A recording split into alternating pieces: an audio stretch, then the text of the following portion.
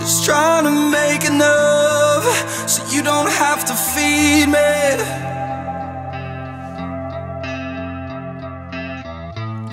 You're the only one I trust, and I know that you believe me.